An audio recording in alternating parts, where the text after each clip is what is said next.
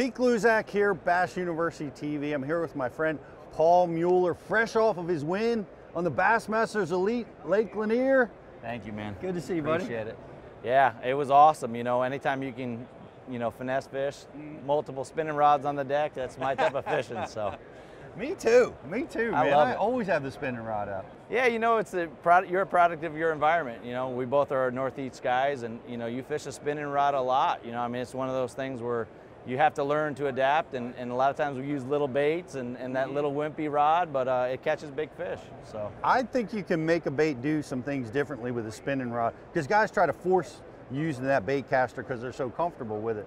But I can just make the baits do better things with a spinning rod sometimes. There's no question. I mean, when you're fishing a spinning rod, you're using lighter line, and the thing with light line, it gets more bites, but what it does is it gives the bait better action. So that's the whole key is just having, you know, lighter line, better presentations, and you know, sometimes you need to do that to get bit. Yeah.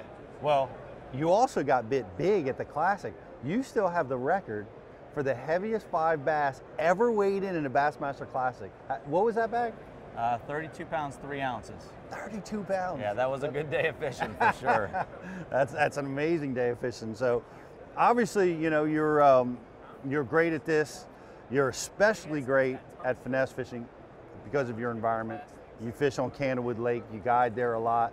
Uh, we're going to talk about a finesse technique that you you too have started to exploit. Uh, it's called the Ned rig.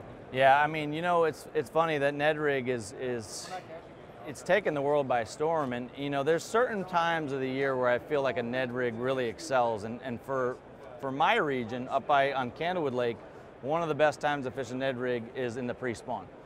We have to use small baits, whether it's a small swim bait, a little spider grub, a hair jig.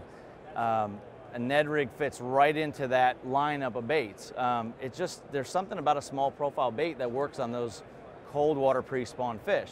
Now the thing with a Ned rig is it kind of fits the same deal as a hair jig. You fish it in the same type of places, you fish it slow, and it's that small profile that gets bit.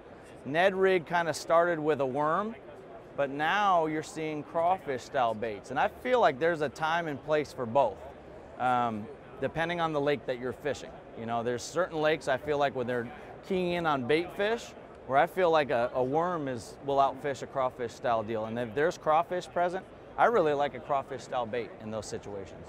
Well, let- let's talk about that. There, you know, we're starting to see some different uh, profiles, some different shapes that are built for a Ned rig uh, presentation, and Range has got a couple.